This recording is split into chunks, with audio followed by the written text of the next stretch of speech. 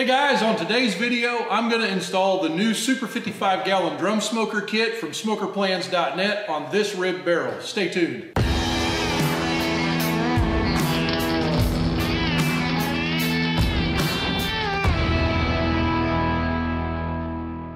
A question I get a lot is, will this thing even install on a ribbed barrel?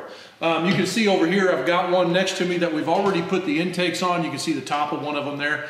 On a smooth barrel, super easy install. It literally took us like, I don't know, three, four minutes to get the holes drilled to get the intake put on. So this barrel though, it might be a little bit more challenging. So there's a couple of options here um, on how you do it, but I'm gonna show you the way that I did it back in like 2014. Now the intakes are, are 20 inches tall and from this here to the bottom of this top ring, we've got 22 inches. Now, the one thing I'll tell you is that these ribs are not the same on every barrel. This is a very common design on this barrel. So I'm gonna cope it to fit this rib right here. Um, anyway, here I go. I'm gonna go ahead and cut all these parts off and I'll be right back. All right, guys, we got our barrel cleaned up. We've got the, the intakes cut off from where they were. I cleaned up this hole so it's not really that sharp at all. Um, now, the important thing to know is, is that wherever your intakes were before, it's fine. It doesn't matter. They were straight across from each other or they were both in the very front, doesn't matter. As long as your intake hole is at the bottom of the barrel, or if you're making an intake, intake hole, follow the instructions that came with the kit. I'm gonna recommend an inch and a half hole. I like to keep that hole up about two and a half inches to the center of the hole, which is gonna leave you plenty of room in here to move that intake around. now, another important thing that I want you to keep in mind is the height of this rib. I've never seen a barrel that had a rib that from this surface up to the top of this surface vertically, I've never seen one that was more than three quarters of an inch. Now, that doesn't mean that they don't exist. So if you wanna verify that number, use your intake like this or a straight edge, set it across two ribs, take a tape measure and measure it. Mine's right at 7 16ths of an inch, so it's less than a half. Now, the reason that matters is because if you look at this intake, if this was taller than three quarters of an inch, it would block off most of this intake. If it's, and we already did the math for you, three quarters of an inch evenly like radiused out inside of this leaves you way more than enough room for airflow to get through the intake. If it's more than three quarters of an inch, you're gonna start creeping up on it. Now, would it work? More than likely, yes, because a little pinhole, any drum guy that's got experience will tell you that a pinhole will actually help, well, you'll actually run overrun your temperature. So it needs to be dang sealed tight. So if it was more than the three quarters of an inch, it might still work, who knows? But we're recommending that. now, the question of notching this thing, it will work. I'm gonna show you how to do it. I made a mark on here at 10 and a half inches, which is how high up. I want the center of this from the bottom of my intake up, right? Now I'm gonna show you a little tool, and you can pick this handy dandy thing up pretty much at any hardware store in the whole entire United States. This thing here is a contour gauge is what this is. I got this one from Harbor Freight. It's, it's plastic. What I really like about it is how wide the bristles are this way. I also like that it's got this edge right here, this sharp edge. I can really dial in on something I'm wanting to check. Now, you push it all the way down, and the back side of this ridge right here is on both sides. It'll hook on this plastic block, and that's how you get everything perfectly even. Now, when I flip it over like that, I can set this up on the top dead center, and I'm guessing at top dead center. It doesn't have to be perfect. And I can push this down, and if I push this block all the way across, it'll stop at the highest point along here. That's gonna help me to keep my edge right. Now, flip it around, and you can see how that's got that wedge there. We're gonna trace this, the tall, the, the part that's farthest down. And we're gonna lay this down on a piece of cardboard. Now you could go ahead and just trace this right on the side of your intake, but take it from me, off camera, I was jacking around trying to do that. It's, it's pretty hard. So just trace it on a piece of cardboard. Now, use a good old marker, mark that radius out. And this is just got to be like, so there's two kinds of close. There's horseshoes close and there's hand grenades close. So hand grenades have a bigger spread, don't have to be as close. Horseshoes, it's got to lean for you to get a point, right? Or it's got to be within one horseshoe length. This just has to be horseshoes close, okay? So we're gonna cut on the the outs, the top side of this black mark with a razor knife. Just take your time, don't get in a hurry. If you got scissors, that's even better. If you really want to get wild, you could use an angle grinder. I don't care what you do. You could use your bandsaw if you want and make a wooden one. Like if you've got the same barrel all the time, you could make a jig out of some kind of plywood or something. Okay, I'm pretty happy with that. That's good enough. If you wanted to, you could take a flap disc and you can fine tune that all you want. But for the sake of argument, looking at that, I can silicone that. It's not a problem. Okay, so now we're gonna take and transfer this over to this intake. Now, if you wanted to, you're gonna have to be able to find that center mark right there. So you could take a square and run that down, which that's what I'm gonna do. Now we're gonna take our which I just had in my hand. And we're gonna trace it right there, right in the center. Okay, I'm gonna put that over here where I can see it though. Okay, now I've got my line. We're gonna cut on the top side of that line, but we've also got to square off the lip here. We're gonna cut it also. Now, when you're cutting this out, I would advise you to err on the side of caution and don't cut the whole entire thing completely out. Like cut just shy of your marks. You can always uh, cut a little more out, but it's really hard to put more in. All right, so now I'm gonna use my slicer disc to cut this. Now, like I said, if you're cutting this yourself, and because I don't have one already made that's cut, I don't know yet, I'm working on that. Um, but if you wind up cutting this yourself, you can use a bandsaw, like a vertical bandsaw. Um, heck, you can use a file, I don't care. It's more practical though to use a uh, angle grinder with a hard disc and grind a little bit at a time, a flap disc or a slicer disc. The slicer disc is gonna slice in and cut a lot faster, but it's gonna be almost impossible to get this little notch cleaned out to the profile of this rib.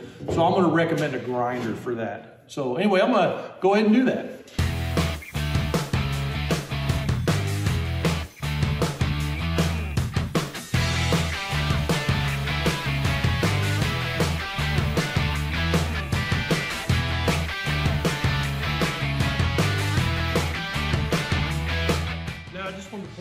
Wanted to show you that if you notice, I cut down to the inside of that curve, of that bend right there. I didn't go past. I just cut down to it. Then I flipped it upside down here and I cut from the backside. Now you're gonna, it's okay to overcut just a little bit on the backside, but don't overcut on the front side because it'll just look bad. It's not gonna hurt the, the performance or anything.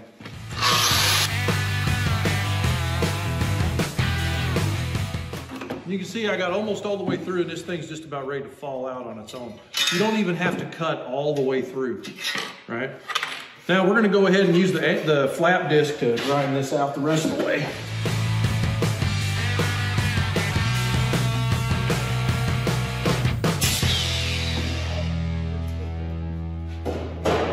Yep, I like it. So you might wind up with just a little bit of a gap in this corner right here. Just because in that corner there is a radius, there's two radiuses working there. There's the one on the barrel and then there's the, the like it's coming down, you know. You just, you might not be able to get that perfect. It's not a big deal. We're gonna silicone this entire thing anyway. So now I'm gonna change back to my flap disc and I'm gonna clean up all my burrs and get ready to uh, install this thing.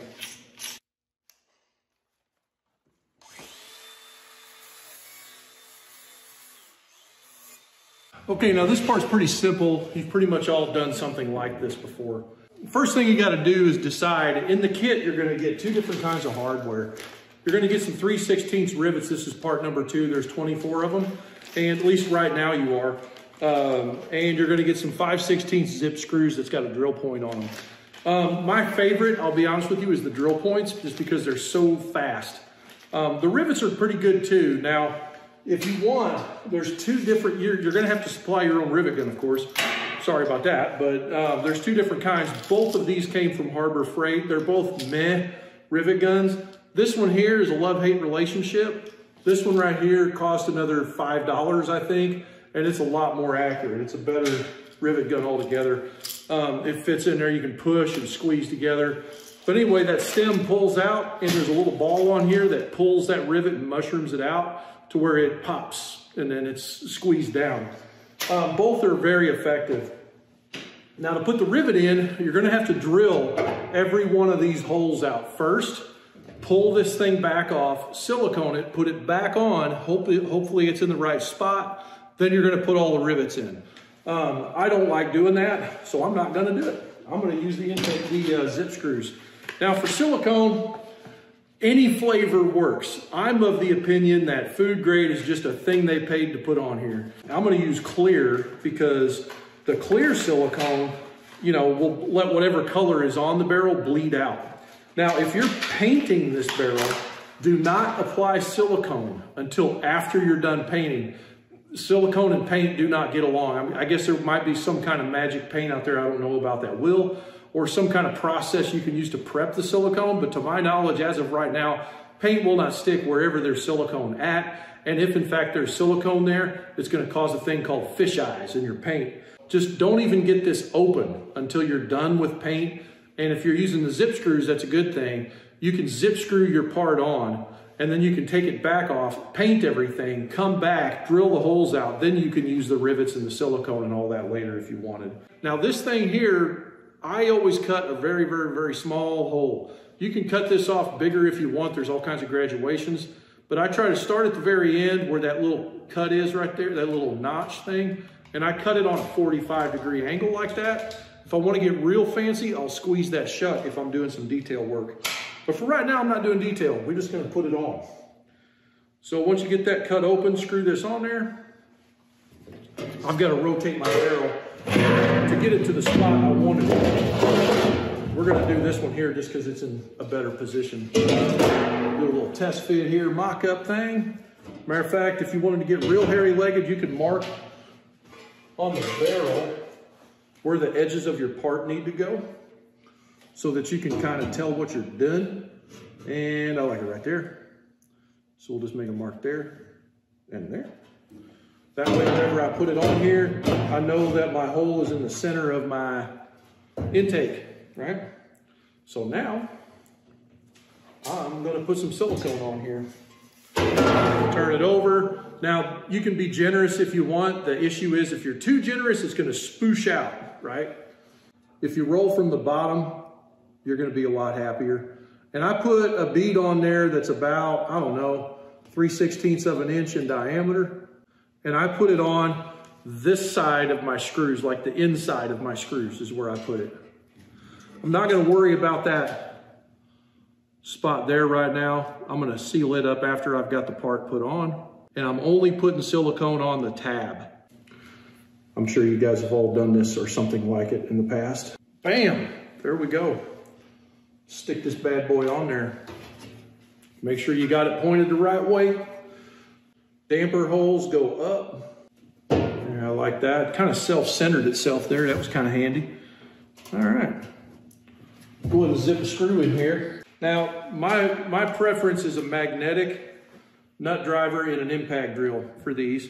And then when you get up in here, do the middle one first.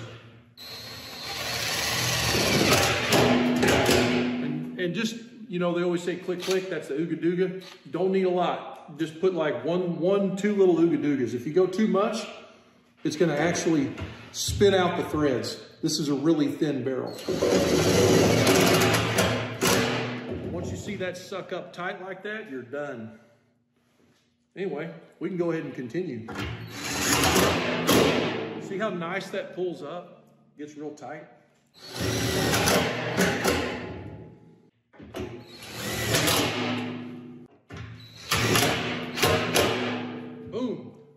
Other side.